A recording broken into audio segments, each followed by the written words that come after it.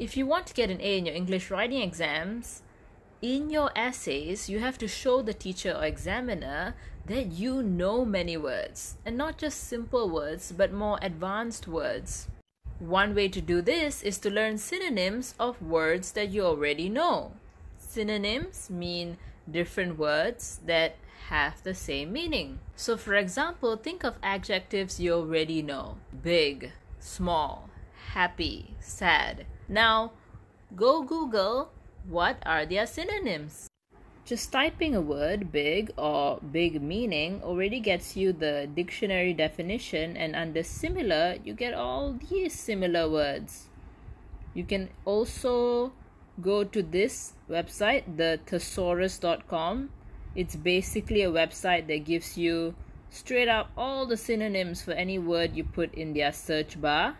But you do want to be careful about the synonyms because different words are suitable to be used in different situations. So let's say after we look at all these synonyms, sad, we want to remember that sad can also mean somber, right?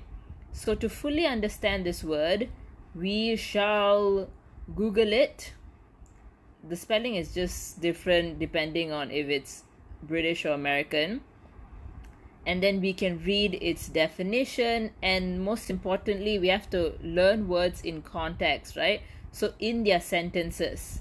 So, we can read these sentences to understand where do they usually use this word. You can also Google sentences with the word somber and read up all these sentences to better understand the word. You can also compare it with your simple word and its definition and sentences.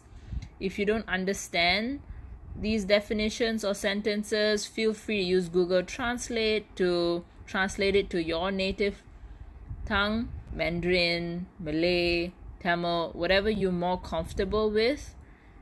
And you can do both of them, and then maybe you can see, you can feel the difference because in your mother tongue you already have that understanding of how words are used in different situations right? So you can use that to your advantage. Or sometimes words are lost in translation like the translation might be wrong. If you're worried about that you can go back to its definition or sentences and you can copy paste this to your google translate as well. So you can lower the chances of anything being lost in translation.